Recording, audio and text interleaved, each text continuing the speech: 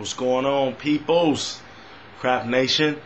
Um, I want to talk about this ugly ass couple. Y'all seen the mugshot or whatever. This couple um, got five kids that they decided to keep away from society for a couple of years. You know, they wasn't specific on how many years they kept the kids away from society, but when um, the police and you know children's services went and investigated, they couldn't find no birth certificates, no school records, or nothing. They didn't have no running water, no heat, no nothing at all. You know, and looking at this damn mugshot of these two ugly sons of whatever you want to call them, um, you can tell that they was living in poor conditions. I mean, why would you keep your kids, you know, in, in, in a situation like that? You know, why wasn't they in school? Why don't they got birth certificates?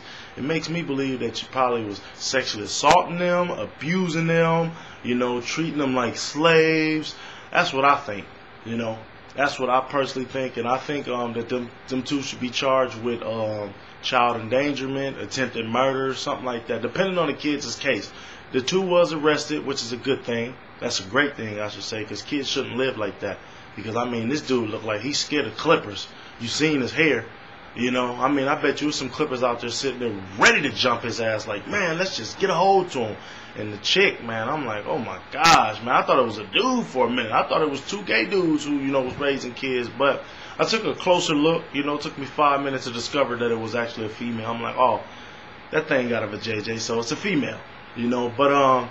The good news is the kids got snatched up from them. You know, you can read the story, the links in the description box. Um, tell me what you think about the whole situation. You know, comments. You know, follow me on Twitter. You can comment on Twitter or whatever. Subscribe to the Craft Nation channel. Um, but I'm about to get out of here. Hey, send me stories, man. Send me stories. I know this channel was supposed to be for me and my old lady. But she's so busy that I, by the time she get home and done what she done, she's too tired to actually do a video. So I just don't want to neglect y'all. You know, I'm not gonna do it at all. I mean, frequently you might catch her in the video. I might, I might get her um, juiced up to get the video, but it's hard, man. I need y'all to um, help me out. You know, leave comments asking about her or something. I don't know, but um, like I said, check out the description box, read the story for yourself, and um, try not to throw up looking at this ugly ass mugshot of these two gremlins, looking like some extras from The Hills Have Eyes or something like that. But um, enjoy the rest of the day. I'm out of here. Peace.